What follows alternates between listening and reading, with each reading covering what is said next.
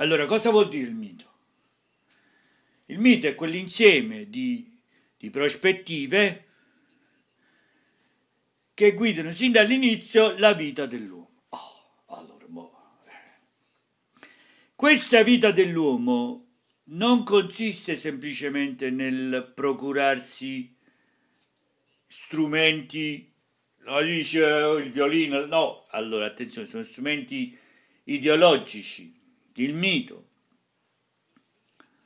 costruisce tecniche e strumenti giustamente per difendersi dalla minaccia della vita, ma questa difesa è operata all'interno dell'invenzione dell'invenzione di un senso del mondo, di un senso divino del mondo, da cui l'uomo si sente protetto. Vedi? Ah, oh, e c'è la protezione, difeso, contro appunto dalla minaccia del dolore e della morte che tutti quanti avete paura.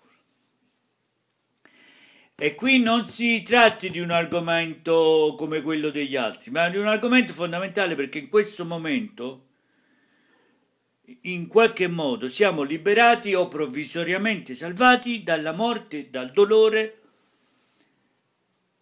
e speriamo che questo dolore non ritorni perché sennò la bella ragazza non basta.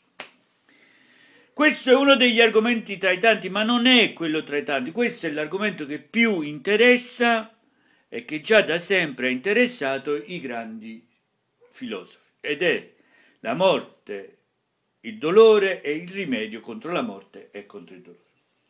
E si tratta quindi del, dunque del decisivo, del, del problema più importante ed è inevitabile che a un certo momento l'uomo non rimane più soddisfatto del rimedio, dice eh, ma io guarda non posso toccare. Allora aspetta. Questo dipende dal mito.